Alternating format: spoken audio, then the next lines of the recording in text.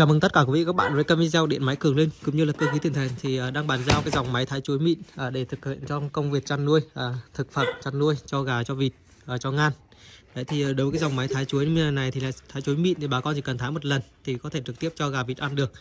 À, với cái dòng motor hiện tại đang lắp trong máy đây dòng motor 1 kg 1 à, 1,5 ngựa thì cũng rất phù hợp cho uh, nhiều hộ gia đình rồi với là dòng điện 220 thì sau đây bạn kỹ thuật sẽ trực tiếp uh, cắm điện để thử máy cho bà con à, hiện tại thông báo qua phần giá bán luôn bà con nhé. Cái phần giá bán của dòng một ký mốt uh, thái mịn này thì nó có, có giá là 2 triệu 100 nghìn là hỗ trợ tiền cước về tận nhà cho bà con.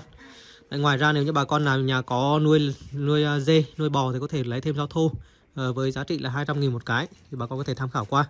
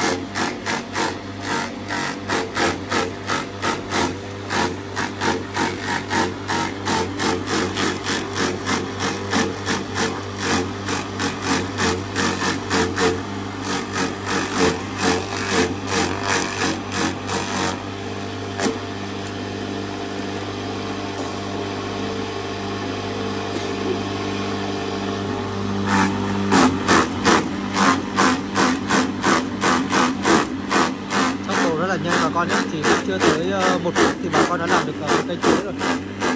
Đấy, tiếp tục đây là cây thứ hai.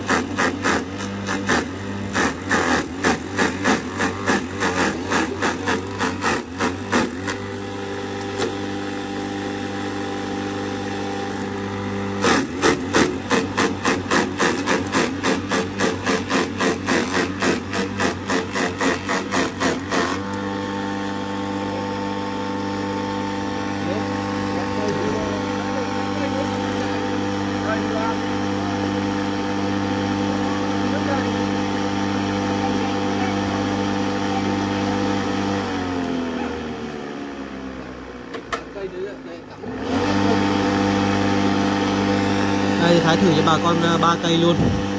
Đấy thì một ngày thì bà con ờ, cho ăn gà vịt nếu đối với hộ gia đình thì tầm thái tầm 2 đến 3 cây thôi. Thì uh, bình thường bà con thái bằng tay thì nó phải mất khoảng tầm độ 20 30 phút hoặc là cả tiếng thì bà con mới thái được ba cây chuối. Nhưng mà khi uh, thiết kế ra con máy này thì bà con chỉ mất khoảng độ tầm uh, 2 đến 3 phút là bà con có thể thái được hai ba cây chuối rồi. Rất là nhanh và rất là tiện lợi trong cái công việc mà bà con chế biến thực phẩm chăn nuôi.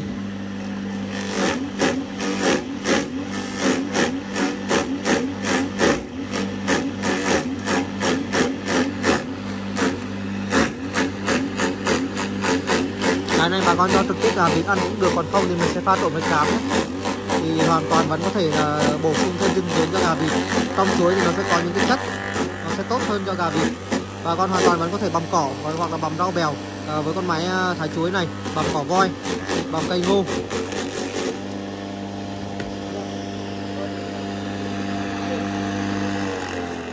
Đấy thì uh, sau đây giới thiệu qua cho bà con về cái cấu tạo cái dòng máy thái chuối mịn này luôn.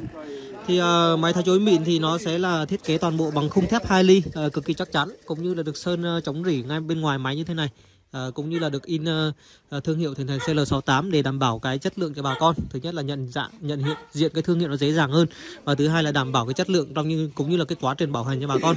Khi mà mua uh, máy bên điện máy Cường Linh thì bà con sẽ được bảo hành một năm uh, về những cái phần motor cũng như là tất cả những cái phần khung như thế này thì được làm bằng thép rất là chắc chắn như thế này.